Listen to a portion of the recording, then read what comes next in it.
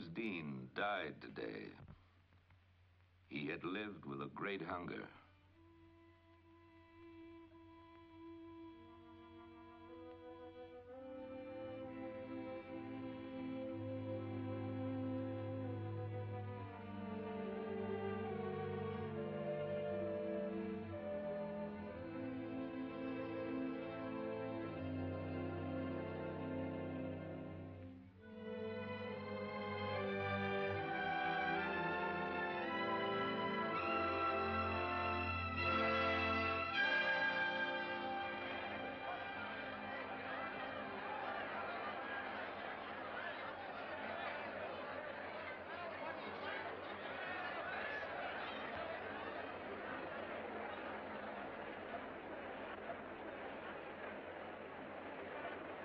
Last film was Giant.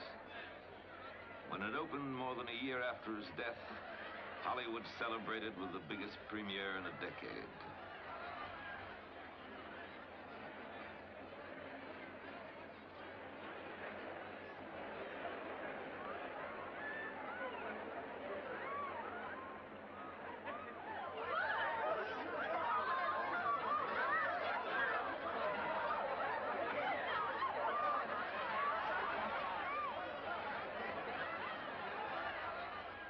James Dean was billed below two other stars, but the night belonged to him.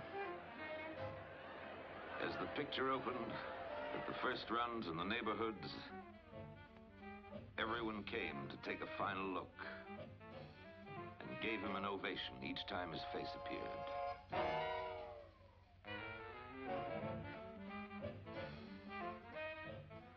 They had made James Dean go. To keep him close, they made a legend in his name.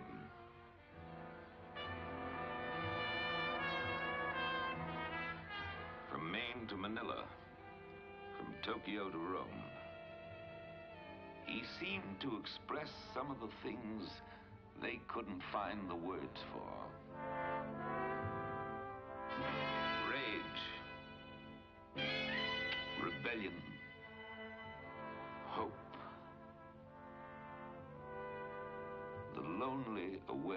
that growing up is pain.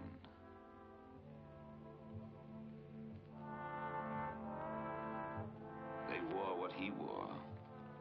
They walked as he walked. They played the parts they saw him play. And they searched for the answers they thought he was searching for. Some found a kinship they had never known before. Youth mourned itself in the passing of James Dean. Because he died young and belonged to no one, every girl could feel that he belonged to her alone. Because he died violently, every boy could use him as a warning to his parents.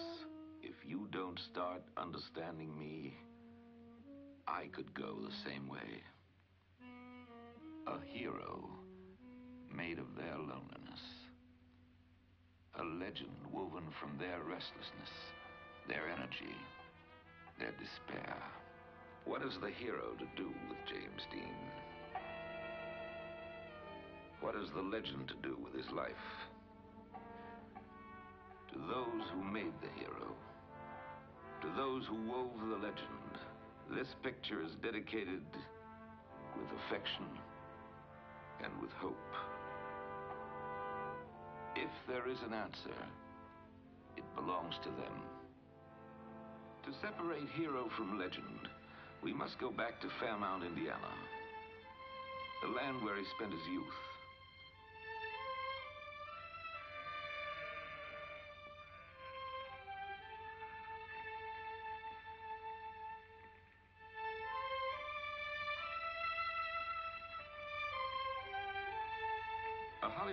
Newsman once asked whether Fairmount is a quaint little town. Fairmount is little, but it isn't quaint.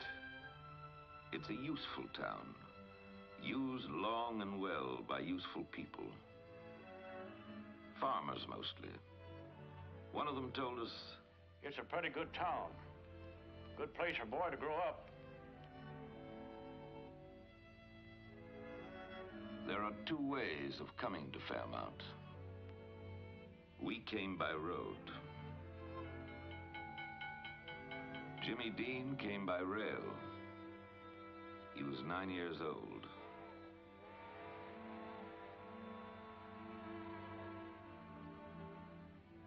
The body of his mother was on the same train.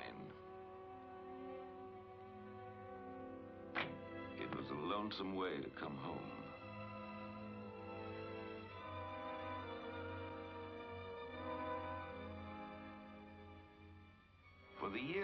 Life, Jimmy looked to this town and the farms around it as his source and his beginning.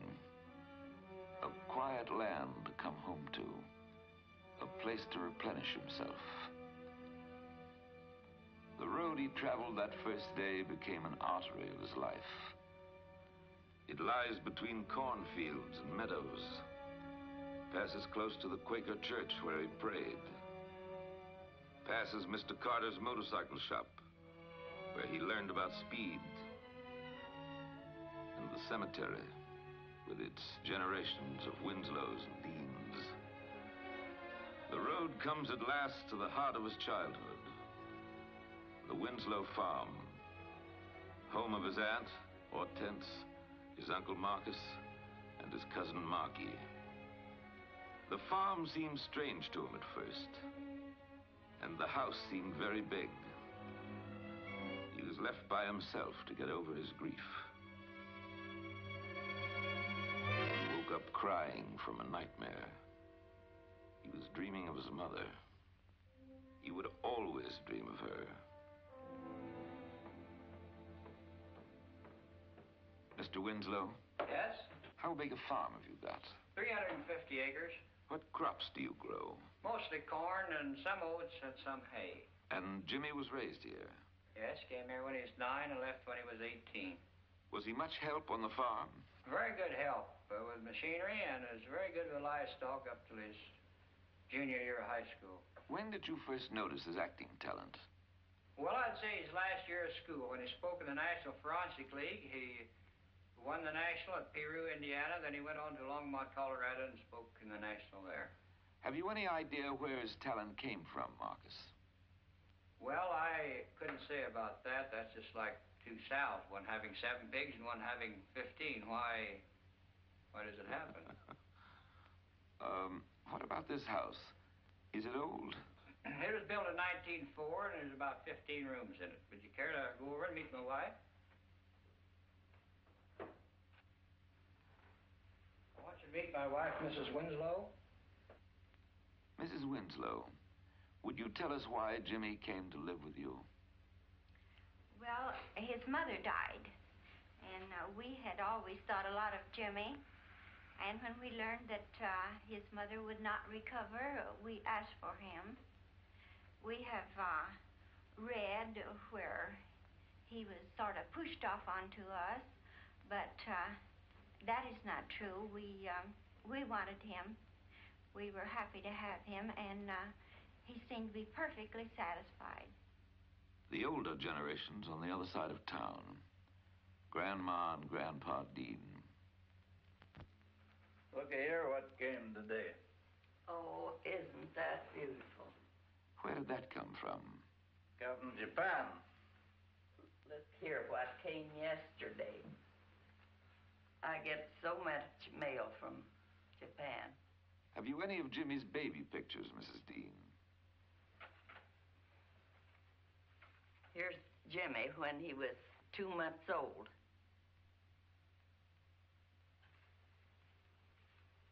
And then here he is again when he was two and a half years old.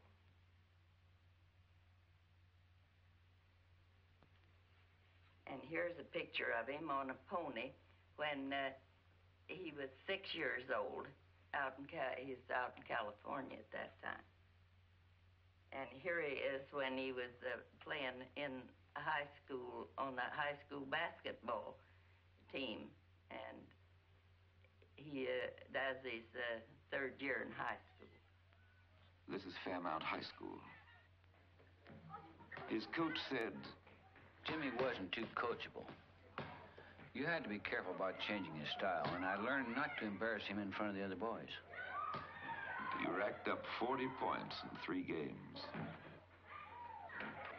He had been an enormous baby, but for some reason he grew up to be a very little boy.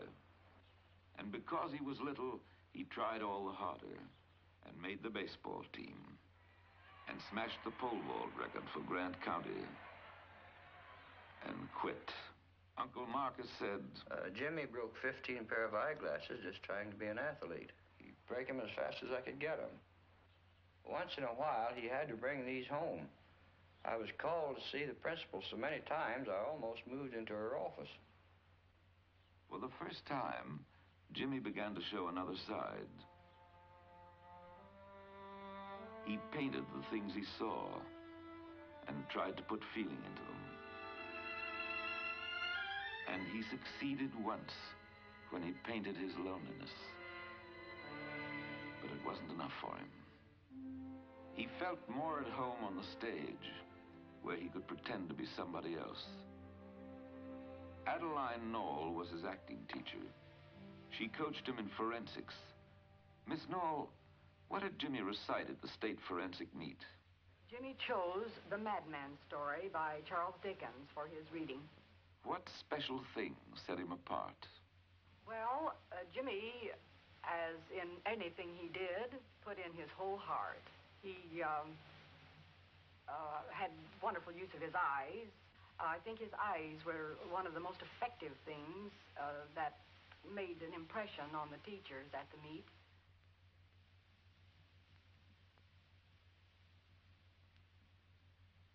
He won.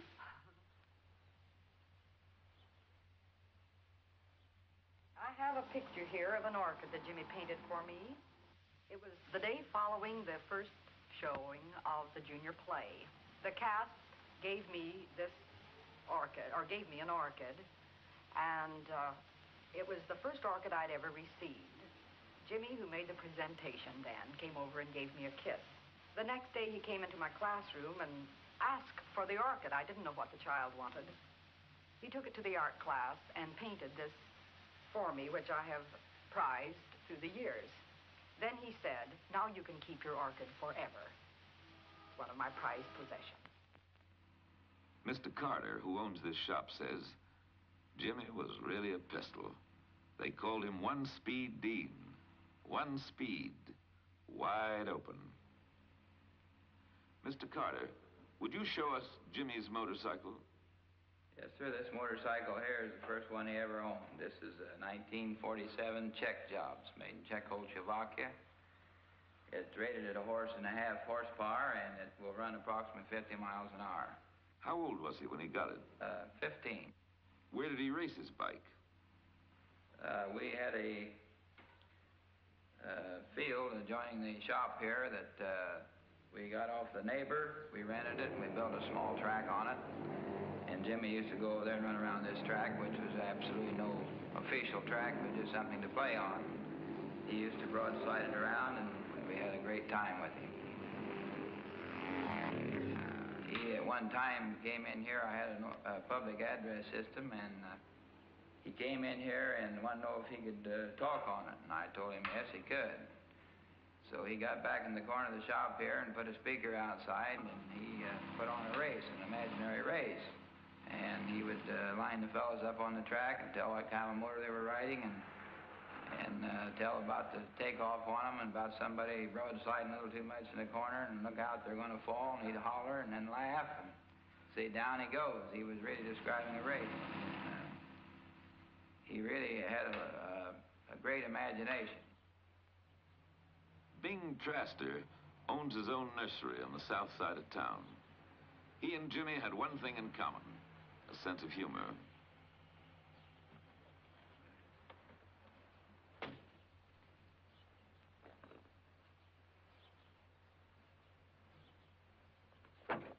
Mr. Traster, have you known the Dean family very long? Yes, I was personally acquainted with four generations of the Dean family. Did you know Jimmy Dean? Yeah, I knew Jimmy Dean. He was one of the boys around town and knew them all, of course, naturally. How did Jimmy impress you, Bing?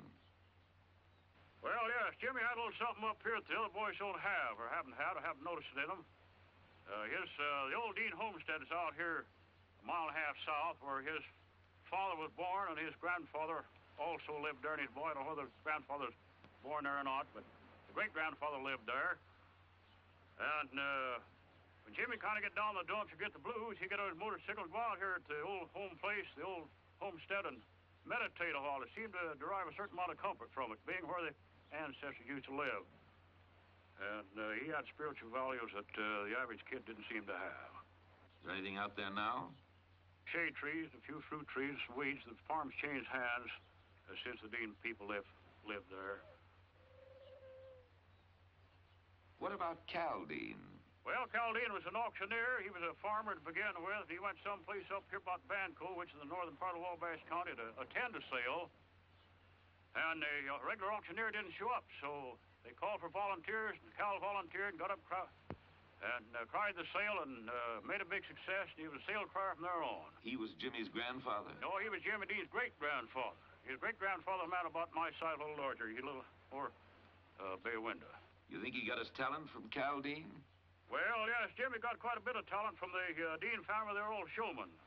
Uh, old Cal Dean, the great grandfather of Jimmy, he was quite a showman himself. And uh, Cal had a cousin lived at uh, Summitville. That's town south about five miles. He was also a sale crier.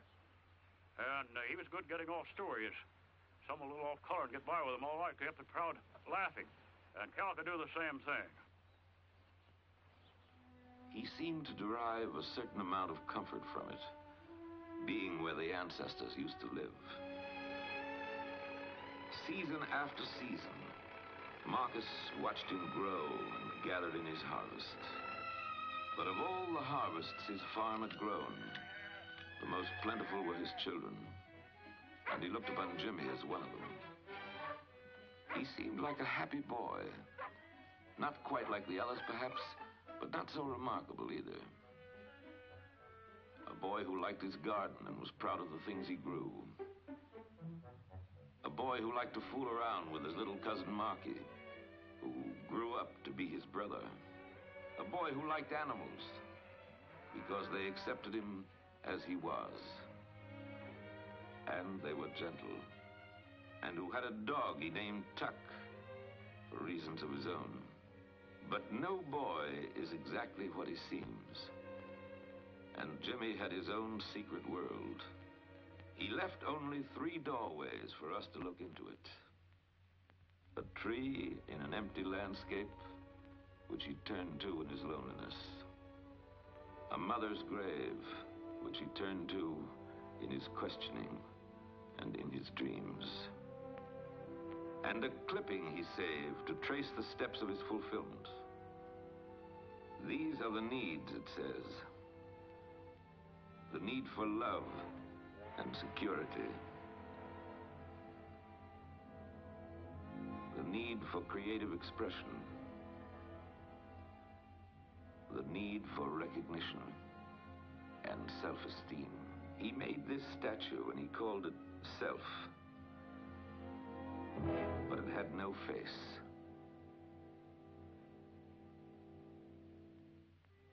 It seemed like something happened to Jimmy.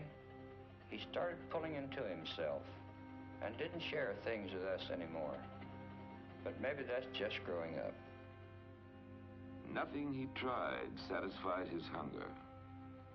He began to say goodbye to Fairmount in his childhood. Restlessness possessed him. He must move, move somewhere. And motion makes any road seem right. He must find a face for the image he called self.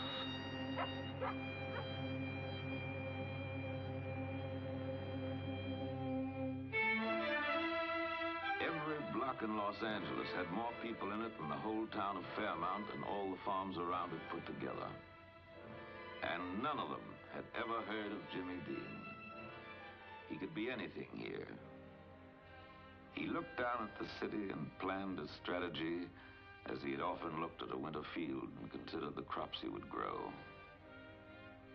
Maybe if he behaved like everybody else, he might belong somewhere and become something.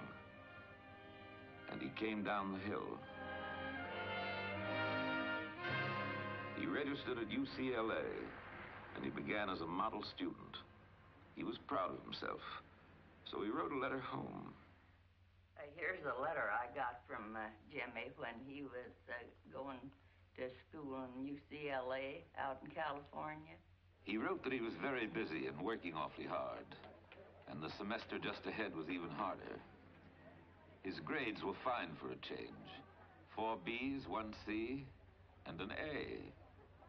He was taking lots of drama in school, and he had just landed a good part in a student play. And he said to his grandmother that he was really finding out one thing, that an actor must be an intellectual, which takes years to develop. If he was going to conform, he'd do it all the way. So he tried to do it royally and joined Sigma Nu. What's your position, Bob? I'm a president of Sigma Nu Fraternity. Uh, I pledged the house in February 1952, and Dean pledged in 50, I think September 1950. Uh, uh, we uh, looked through the files uh, a couple months ago to see whether we had anything uh, from Dean, and this is his pledge application. This is an application to the National in the financial records.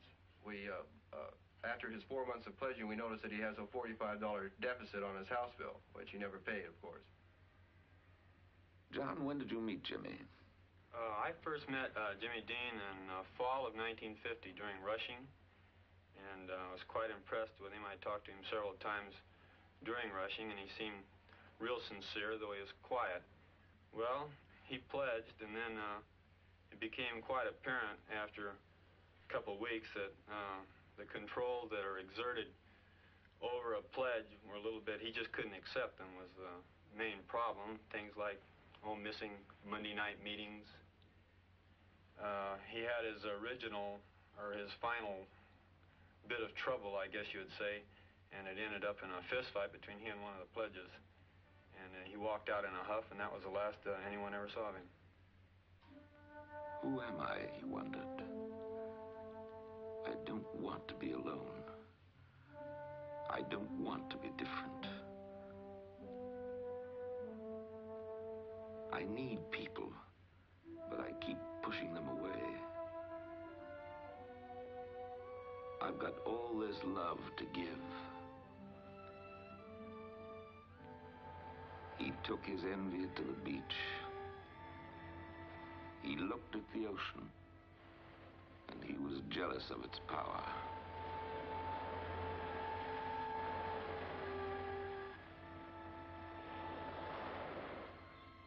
He envied the gulls for having found each other. He envied them their freedom and their solitary flights. Suddenly, he knew that as an actor, he could be the ocean and flood everything with his power. As an actor, he could be a gull and rise higher than any living thing. He would become an actor, really an actor. He would conquer New York and press the theater to his feet. Then he would come back and conquer Hollywood. He would rise so high, he would almost vanish. And everyone would beg him to come back. And he saw a dead bird in the sand and wept for it. But he was on his way. Jimmy Dean was going to be somebody.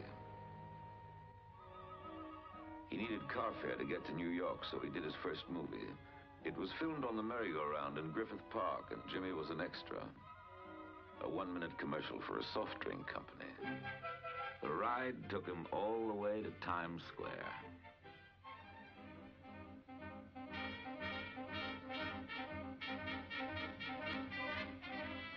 The city showed him its nine million faces, and he tried to absorb them all. He found them on subways and in the bars, on the waterfronts, Greenwich Village, in places where it wasn't safe to go. He tried to feel what he thought they felt. I love. I belong to someone.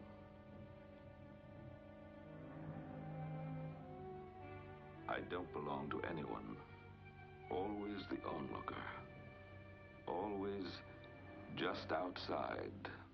He began to push at the walls of his own isolation and break into the lives around him.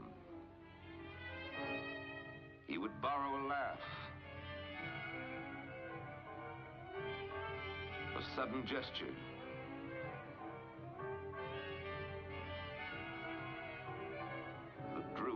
sadness. People were his food, and he ate them up hungrily to help him build his actor's face. His appetites were large, but he was never quite full. Neither was his suitcase. He thought sleep was a waste of time, and if he slept, he might miss something.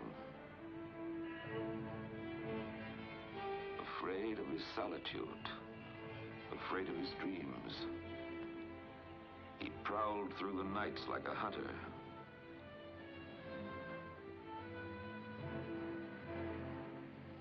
He'd borrow a paper to see what was playing on 42nd Street. And he'd go to three features to stretch out the night.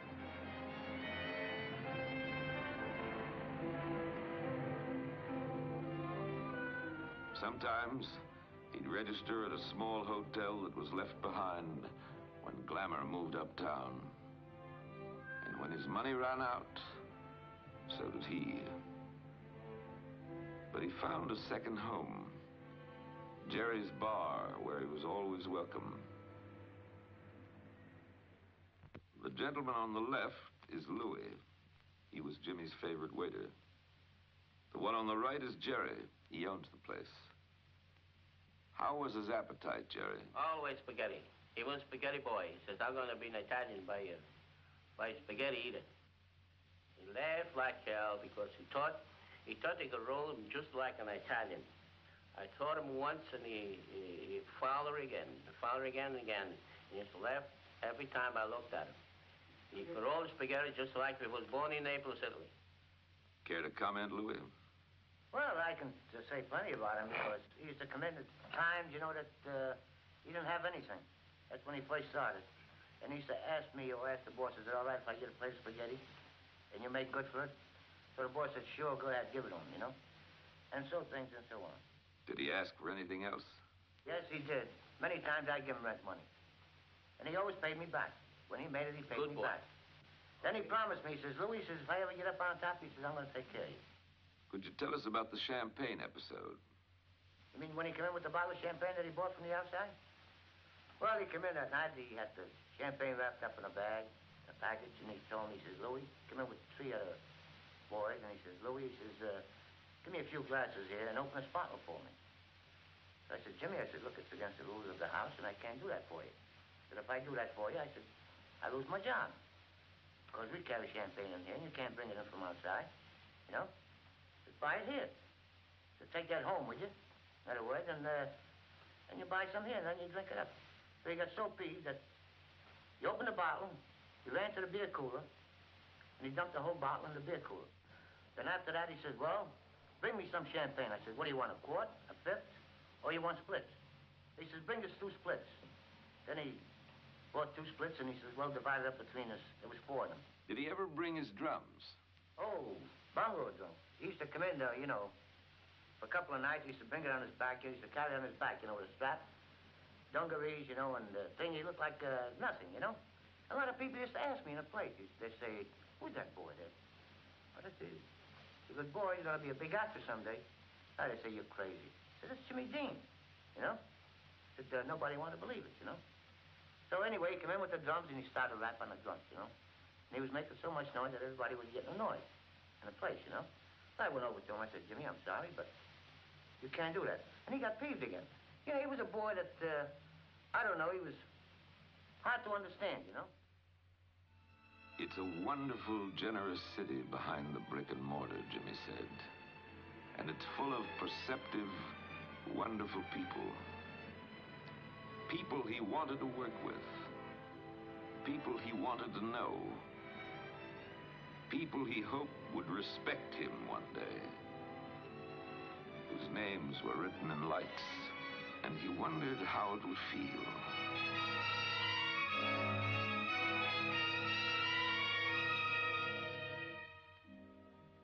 Leonard Rosenman was a young composer who later created the music for East of Eden and Rebel Without a Cause. To save expenses, they took an apartment together. It was a five-story walk-up with portholes like a ship. Jimmy called it a wastebasket with walls. If he pressed his head against the window in a certain way and squinted through one eye, he had a grand view of Central Park. It wasn't Indiana, but it was full of trees he could sit under. He began to imagine himself as a deep thinker. An actor must know everything about everything, he said. But in his hurry, he settled for less. He stood still long enough to make friends with a girl.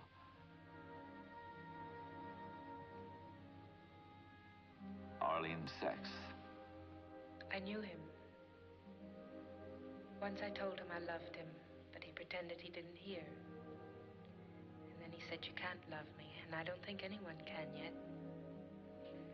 We listened to music together Bartok and Schoenberg and Mozart.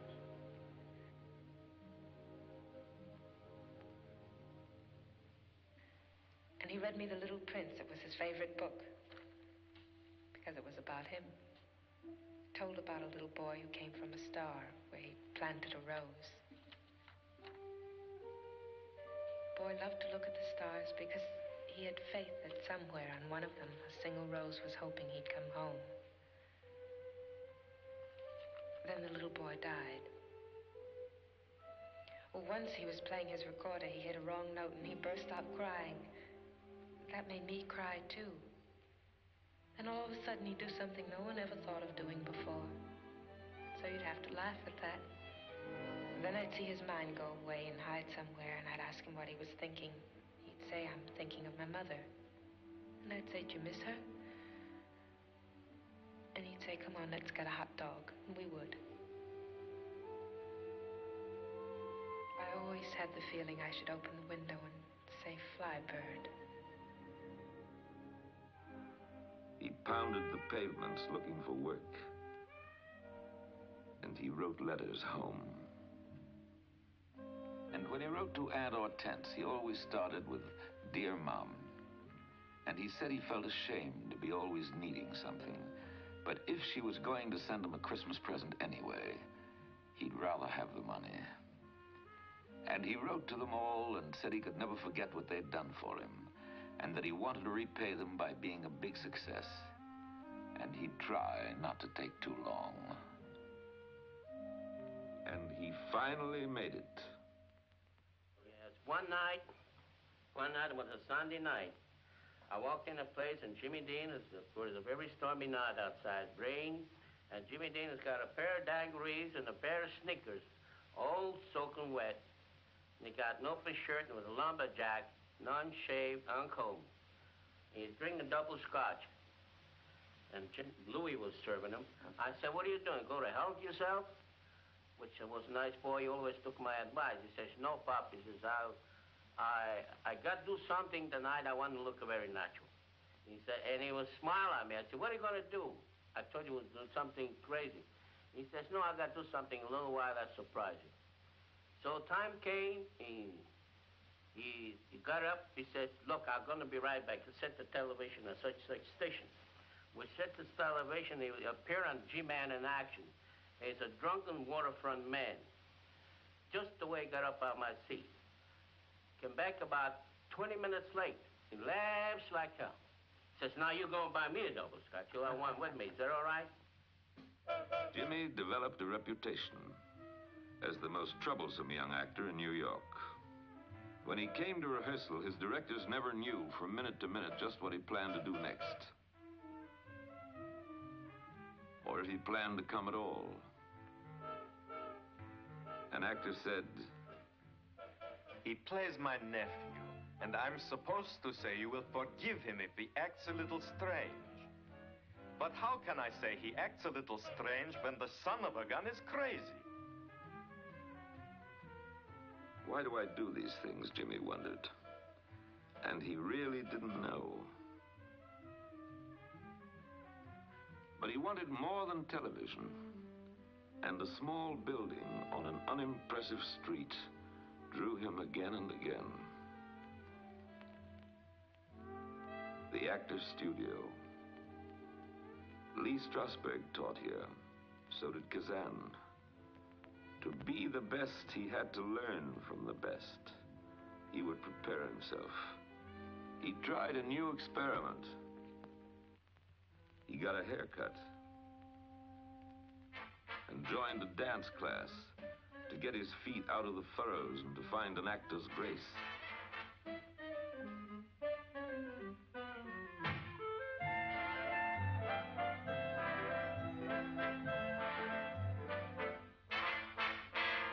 During this time of preparation, he met a taxicab driver, Arnie Langer, who became his friend.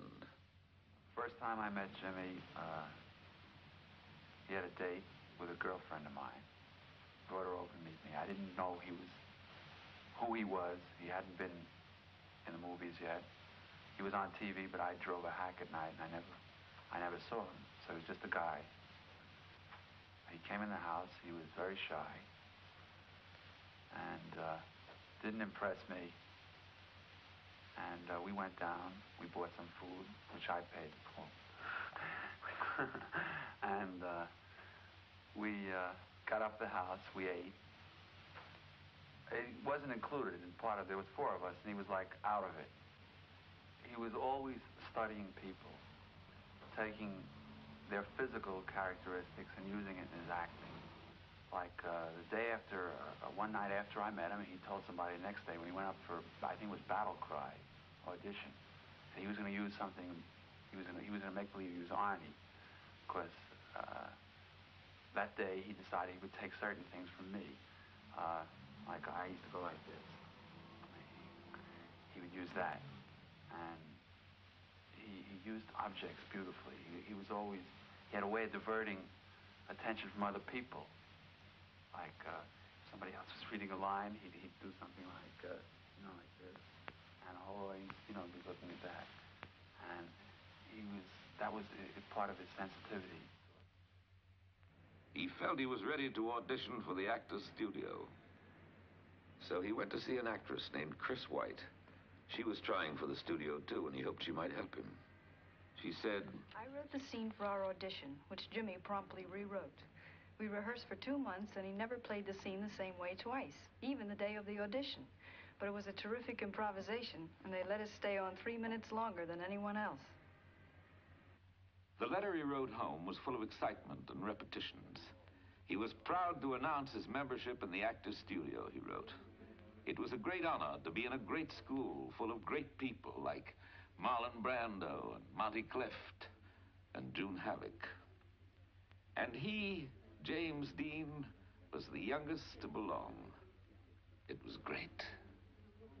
Lee Strasberg said he was a natural actor, but very shy, sensitive about people getting too close to him.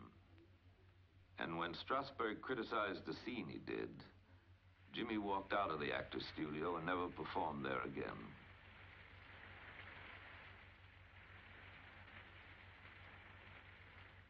He was offered a contract for his first Broadway play. Mr. Ross was in charge of press relations for See the Jaguar. Well, um, I'm afraid that Jimmy Dean's first bath of fire in the theater wasn't too uh, glorious. The play opened on a Thursday night, I seem to remember, and closed on a Saturday night that same week. The critics didn't like it. The critics didn't understand it. His next performance was in Gide's The Immoralist by Ruth and Augustus Goetz. Jimmy was part of an excellent cast. Geraldine Page, Louis Jourdan, and David J. Stewart. He played an Arab boy had to perform a seductive, insinuating dance. The Arab boy lived in a date grove on the desert and came between a husband and his wife and destroyed them both. On opening night, the critics greeted him as a brilliant and promising young star. And he remembered the ocean he had envied, and the seagull in its flight. And he knew he had found his power. The theater and its people made him welcome. But he fought with the producer and quit the show two weeks after it opened. In New York, he had won the reputation of a rebel. He had denied himself all the things he wanted most. He had denied himself the pleasure of his own success. The respect of people who had been his gods. He had denied himself. Why do I destroy the things I build, he asked. And he sat under a tree in Central Park and wrote a letter to his cousin Marky to thank him for some drawings he had sent. But he was really writing to himself. Dear Marky, we asked Marky if he remembered what Jimmy wrote to him. And this is what Marky told us. Jim said he wanted to thank me for my drawings. But he had to warn me about something. He said it's easy to draw pictures of soldiers and people shooting guns and jails where they lock people up. But he said I shouldn't draw these things because they aren't good to. He told me that I live on a land that God has blessed with trees and rivers and the ocean and all the animals I see and houses where people can open the door whenever they want to. He said these are the things to draw, and all I have to do is look around to see. And Marky told us how Jimmy had ended his letter. These things are harder to draw because they are harder to grow. My love to you, Marky. Jim. Then he went up to the upper brag to see Jimmy. Went to California to make pictures. When was the last time you saw him, Louis? I? The last time I saw Jimmy is uh, when he went to California. He went to Hollywood to make uh, the big picture. You know? That was the last time, and then we had a nice party there for him. A lot of people used to ask me in a place. They say, "Who's that boy there?" I said, "It's Jimmy Dean."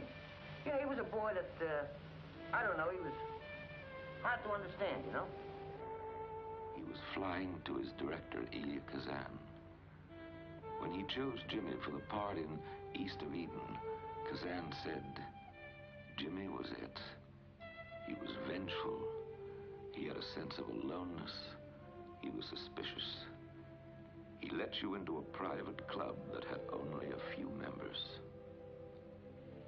Fly, bird, fly. Fly, bird.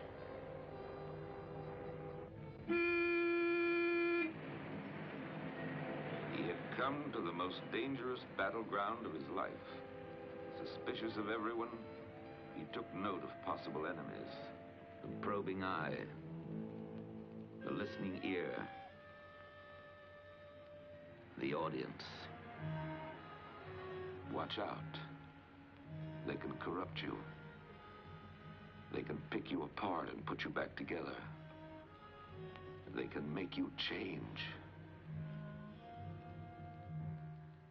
He moved into his studio dressing room.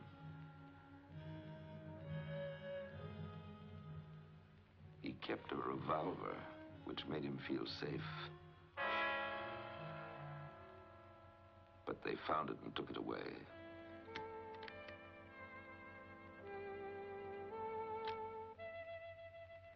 He bought a new motorcycle so he could move fast and alone. He dressed as he always had, because old clothes were familiar things in an unfamiliar place and he never judged a man by what he wore. But Hollywood did.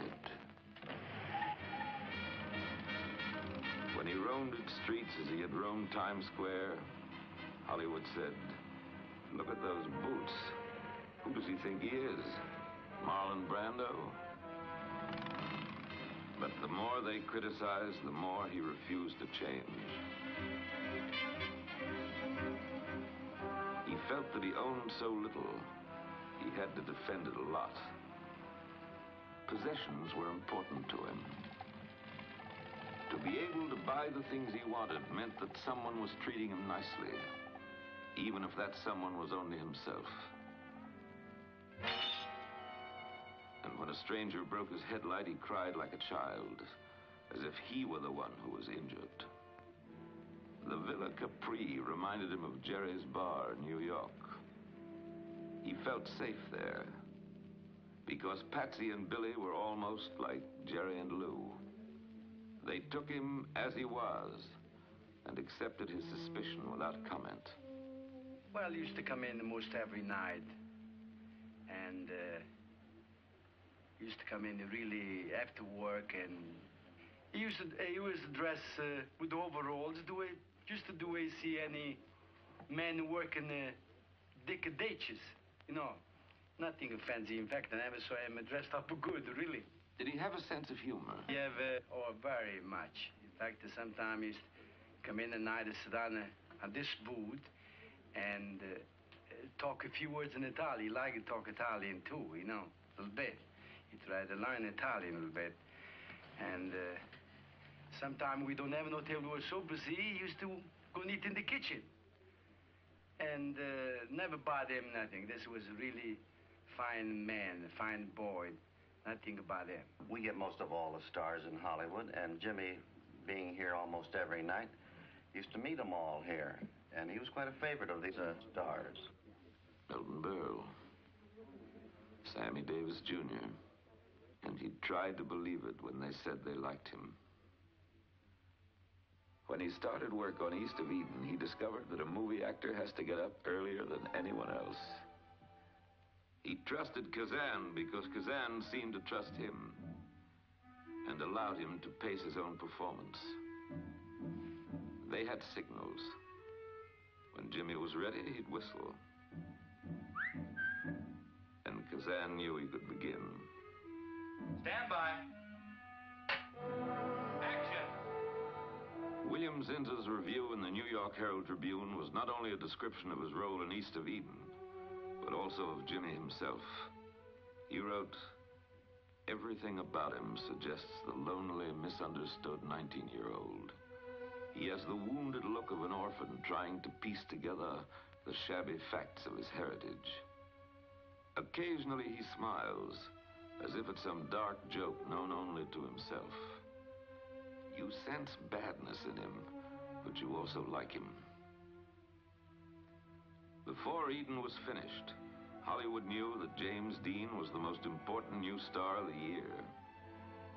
It gave him the courage to take a chance on himself and to fall in love for the first time.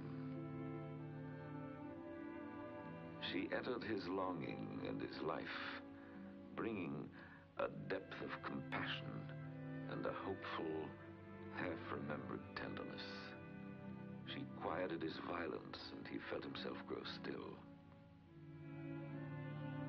And for the first time, he found the timid belief that life was possible. He slept through the nights without dreaming. He began to enjoy. He began to share. It made him very happy. And he found a friend. He said, I have one very close friend and I feel so happy. Isn't that strange? Come on, Nick. Lew Bracker lived in a secure home with a real mother and father and three hot meals a day. Come on. Hi, Lew. What's your dog's name? Uh, that's Michelina. She's a uh, three-year-old Labrador. And uh, she was about a year old when Jimmy was here. He spent a whole summer trying to get her to dive off the board, but she never would do it. She still doesn't, as a matter of fact. Lew invited us inside to show us some of Jimmy's things. here, box of uh, stuff that Jimmy gave to me to keep before he, uh, about two weeks before his accident. It's uh, just personal belongings. Uh, here's a bunch of fan mail that came to him personally. And he didn't turn it over to his fan mail service. Here's a uh, couple of uh, snapshots of Jimmy working on his car before the uh, Palm Springs road races in 1955, which uh, was his first road race. Here's a guy that wanted to sell him an oil well. Some phone numbers, and a Diners Club bill. Here's a little write-up uh, after the Palm Springs races. It says, third spot went to young motion picture actor James Dean driving his first race in a Porsche Speedster. Uh, here's a note from uh, his laundry saying that a sheet was damaged and they couldn't launder it. A bank statement with a telephone number on the end of it. Some more telephone numbers. Something from the Screen Actors Guild letting him know that his dues are jumping. Telephone number. I don't know how Jimmy ever kept track of his telephone numbers because you never could be quite sure where yours was written. Because it was the way he used to file things, just throw them in a box. And uh, it might surprise you or the audience to know that Jimmy was fantastically interested in business. He uh, himself always wanted to uh, have his own company. As a matter of fact, he wanted to become a director. He felt that um, there was more room for self-expression, certainly more freedom of movement uh, in, in being in direction than in uh, acting. So actually he was learning, uh, he was learning a little more how to get along with uh, strangers and um, also uh, the things that, uh, that he would read about himself hurt him. Uh, he, he would be bothered when someone would say that he was uh, mean and um, disrespectful because actually he wasn't. It was just, they took silence to mean that he cared little or nothing for him. They didn't have the insight or didn't care to, to exercise their insight in knowing that here was a shy boy that just didn't know how to approach him. And they didn't make, instead of making an attempt to approach him, they just said, well, they just wrote him off. It seemed that he was always losing the people he cared for most deeply. So it had always been, so it would always be. So be it. Became a night wanderer once again, looking for a place to unload his tenderness and finding none. So he bought a horse and gave it a manger of oats and a measure of love. Lew Bracker has it now. It runs free in Santa Barbara Meadows. He found some relief in racing the Porsche car he bought as a consolation prize to himself.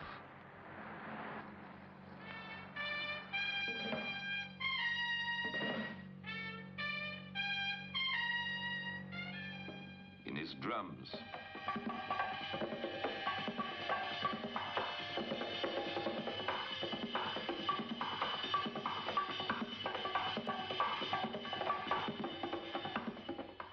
And in occasional people.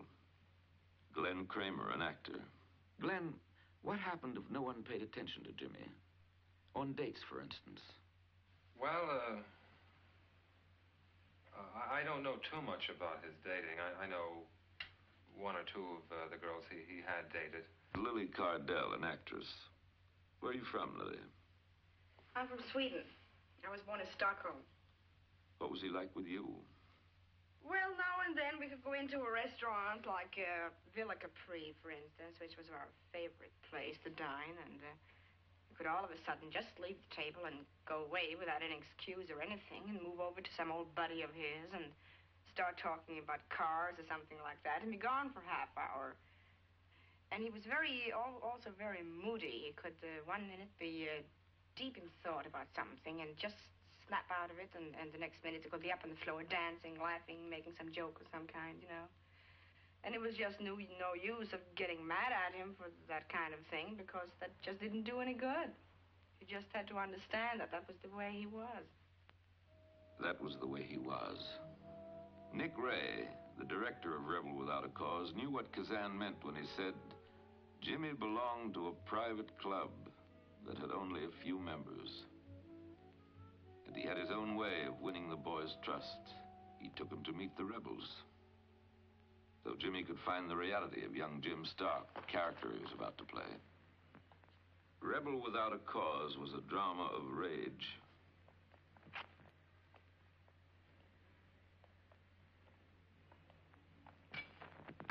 Of a young man suffering and his battle to bring comfort to an outcast boy who needed him, and to a girl who had never known love. He could expose through Jim Stark the things he had to conceal as Jimmy Dean. But when the film was finished, Jim Stark was gone. The performance was over. Success was nothing more than the concealing leaf which covered the tree of his loneliness. And after every job, the tree was bare, and winter returned to chill him. He knew that he could never hide from pain. But if he kept busy, he might forget it. So he threw himself hopefully at each new day and tried to connect with life. He tried to record life with his camera. He became interested in bullfighting because he fancied himself a matador. The solitary figure who brought danger to its knees.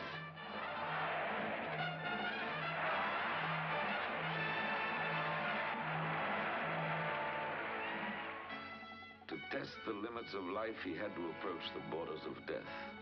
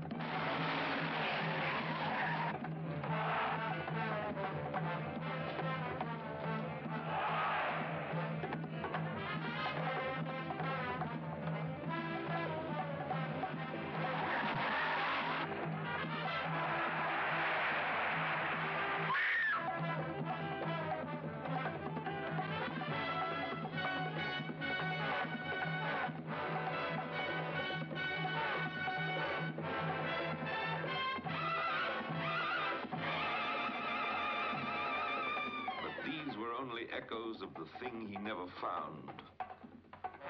The thing which kept escaping him. The thing that had no face. Himself. The star was rushing home. Before he could go any further, he knew he must face himself, and he could only do it in Fairmount.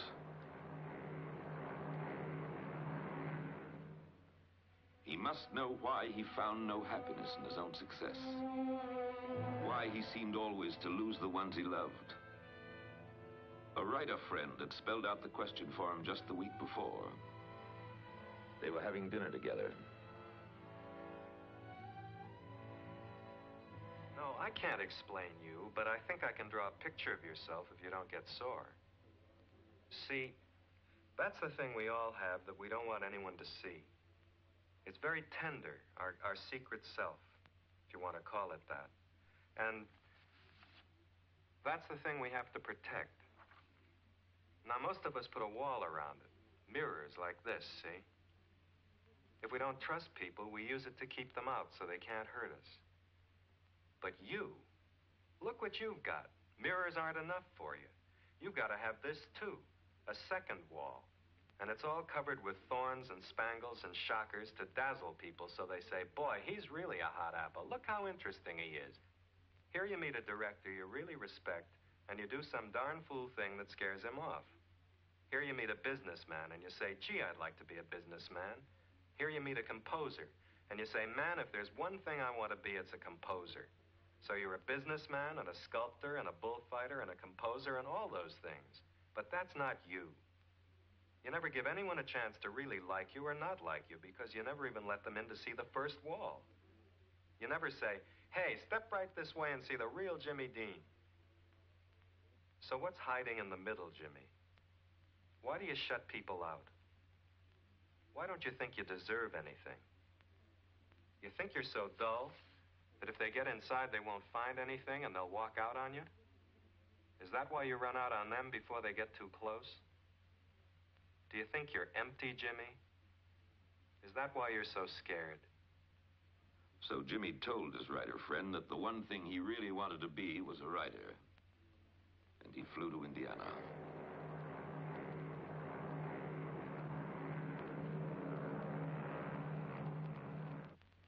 In Fairmount, he put on his farm clothes and listened to the stories people told. Stories about himself as a boy.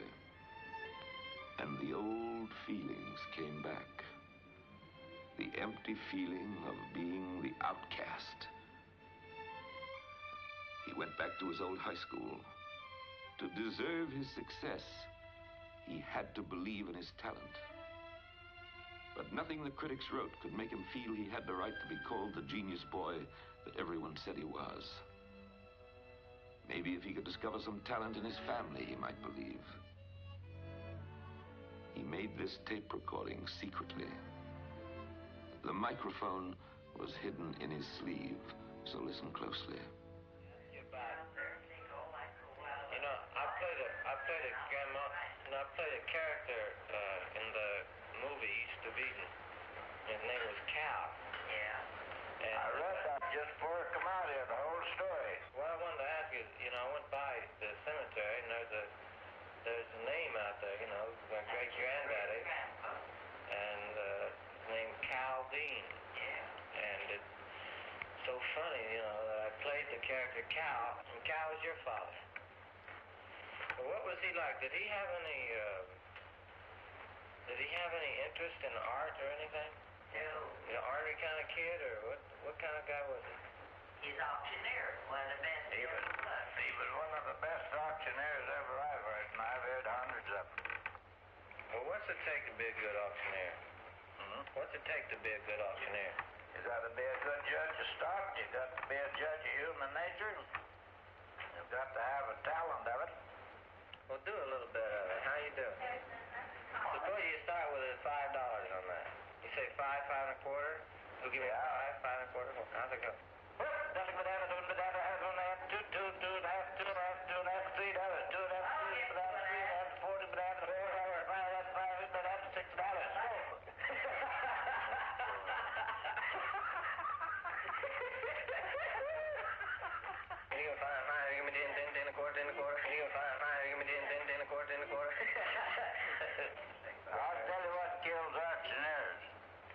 You take a man that talks to the public every day, he'll eventually get too much confidence in himself.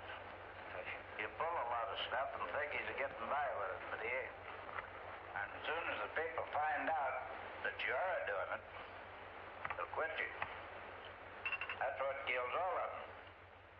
That's, that's what kills an actor, too. Same thing. You gotta be an honest man along with it, But it didn't fill his emptiness. When he looked at Marky, he saw his own childhood gazing back at him.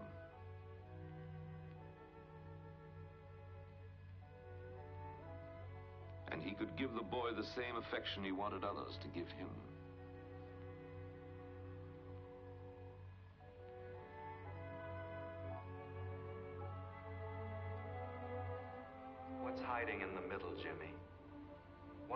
To shut people out? Why don't you think you deserve anything? Because I'm bad.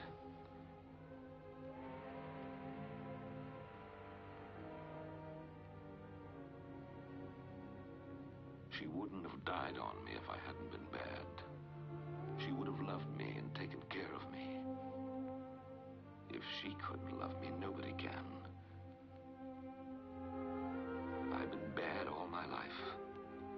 So I've never deserved anything good. But these feelings belonged in his childhood. As a man, he knew that he had never been bad. His mother had loved him. She died because she had to, and it hadn't been his fault. Once he had dared to look at the past, he was able to lay it away with his nightmares in the attic trunk where it belonged.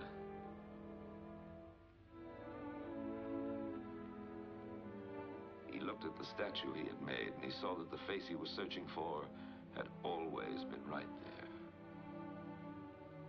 A good face. A nice face. He knew he need no longer be ashamed. Because there was more than emptiness inside.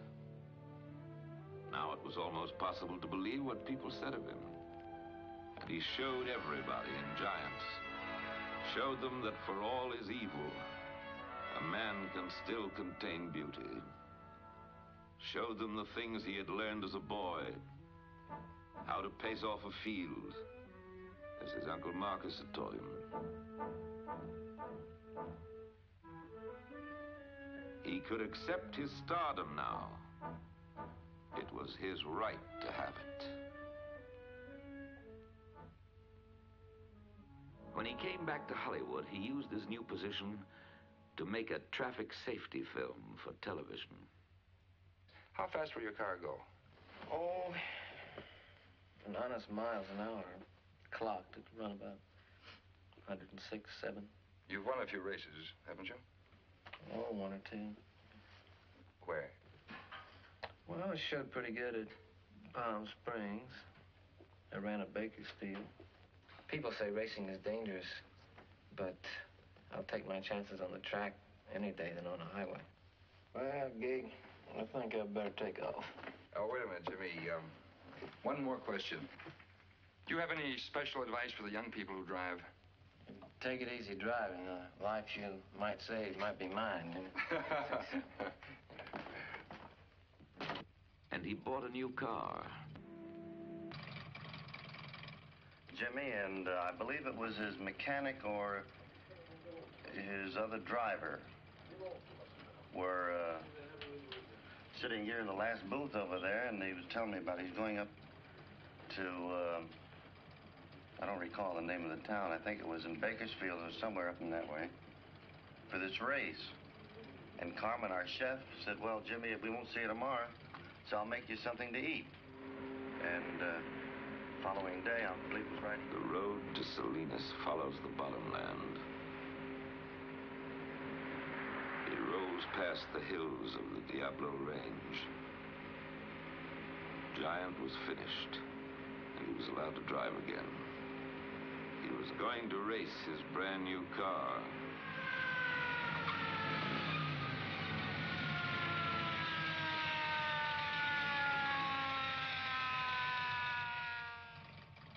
Policeman stopped him once for speeding.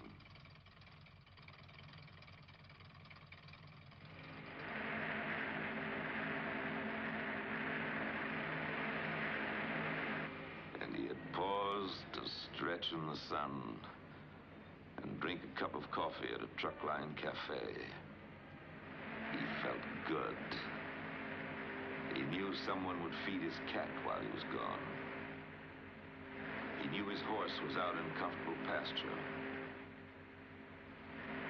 But he couldn't remember if he had made his bed or left the breakfast dishes in the sink.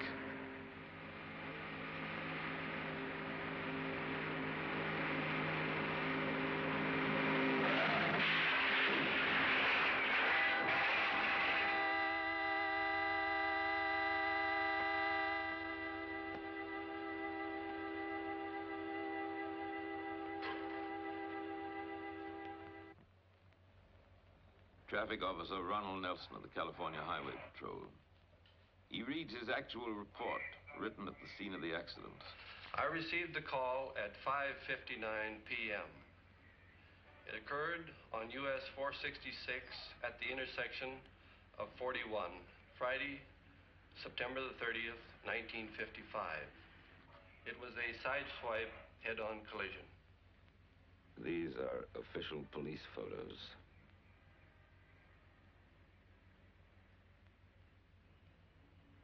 There were two persons injured and one killed. Number one injured was Donald Gene Turnupseed, driver of vehicle number one. Number two injured was Rolf Wütherich, a passenger in the Dean car. The dead was James Byron Dean, DOA, or dead on arrival at the hospital. Returned to his source and his beginnings. A quiet land to come home to. A place to replenish himself. Marky said, He came back here about five times, if you want to count this one. the town was silent. The minister said, His brief career was as bright as a meteor which flows like a golden tear down the dark cheeks of night. His pallbearers were his basketball team. Of all the harvests the farm had grown, the most plentiful was the boy himself. What is the summation of this life? The less than 300 months of time it took to spend itself. The 24 Christmas trees it saw.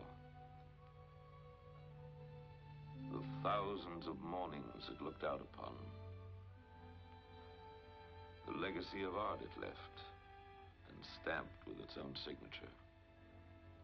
What can we say of him? We can say that he despised the things he was and loved the things he was trying to become. We can say that he left two cherished gifts. He was able to do what few in his generation had done before to reach into a dark theater and let each person know that they were not alone. And he was able to unveil that single quality which most of us conceal the wonderful sense of our own inexpressible sweetness. He brings us these gifts for the last time in a test which he made for East of Eden. It has never been shown before. Jimmy is deep in the shadows at the start of the scene. Listen. You're the one that Dad loves. He doesn't love me, never has. This is my son.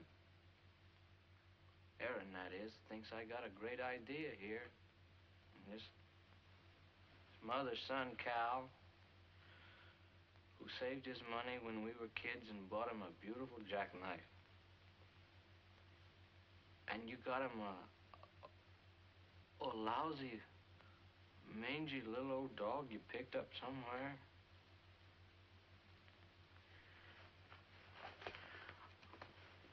Well, he loved that dog, Aaron. He didn't even say thank you for my jackknife. Didn't say nothing.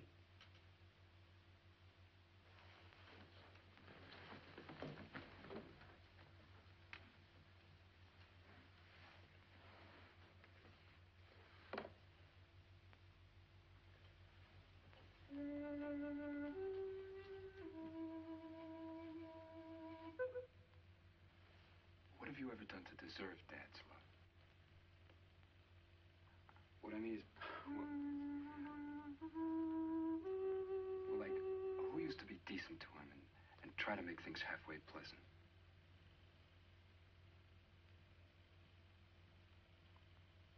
You did?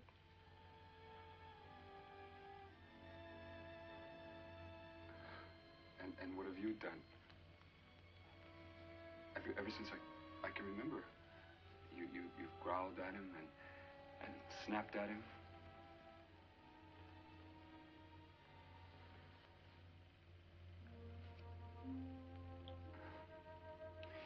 You can't win anybody's love by, by fighting them every minute, Cal.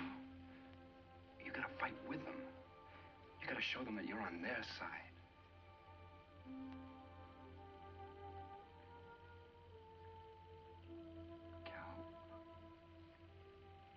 Don't you give Dad a chance? Why don't you show him that you love him?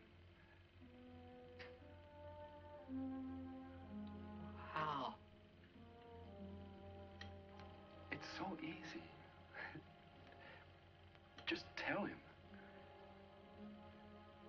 Show him. Why don't you do something for him?